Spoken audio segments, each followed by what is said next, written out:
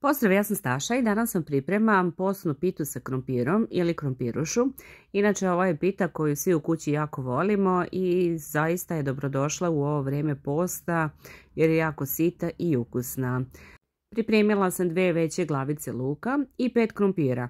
Potrebno je da krompir bude malo veći.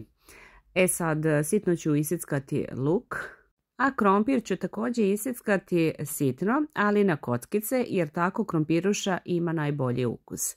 Inače od svih e, pita koje sam probala sa krompirom ovako pripremljena mi je najlepša. U jedan tiganj stavit ću ulje da se zagreje, a potom ću dodati crni luk koji sam isickala.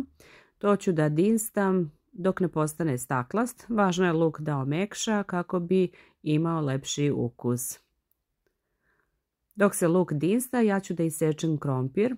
Inače, ovako mi je najlakše, pa pogledajte kako ja to radim, pa možda vam bude zanimljivo, jer ovako zaista štedim vrijeme i mnogo brže seckam krompir. Za ovako seckanje potrebno je samo da vam nož bude dovoljno oštar. I ovo na kraju također iseckam i to budu male kockice. Kada luk e, postane staklast i kada omekša dodat ću e, krompir.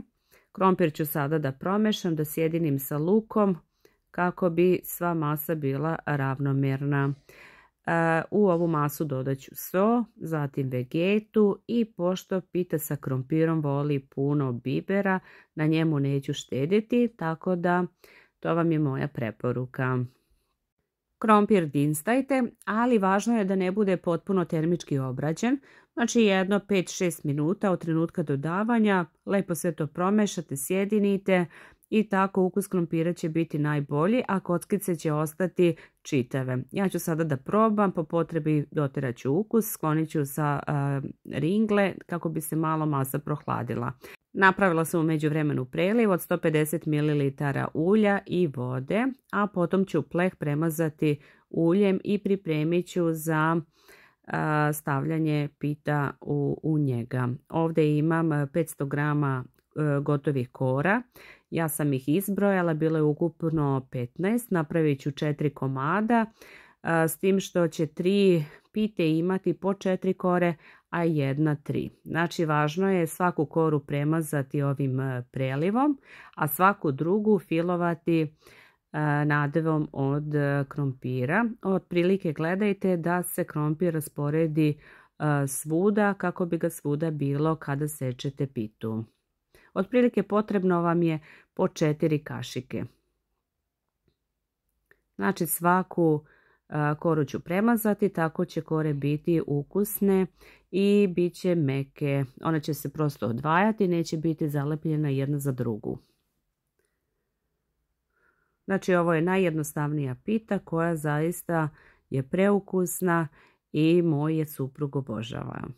Inače ovu pitu sam pripremala i ranije, ali pošto je sada vrijeme posta, ja sam je spremala za nas i tako sam odlučila da ovaj recept podelim ponovo.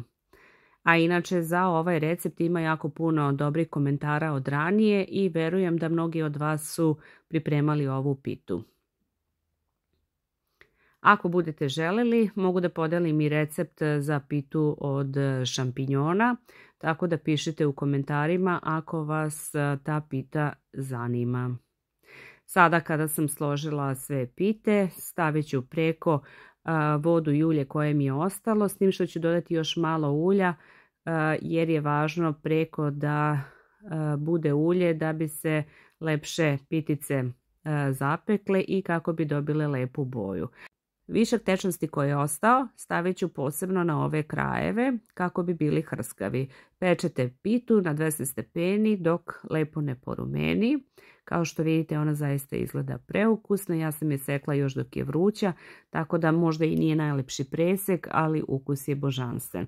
Ako vam se dopao ovaj recept, obavezno ga lajkujte i ako želite još puno dobrih recepata pratite moj kanal, a ja vam želim prijatan dan.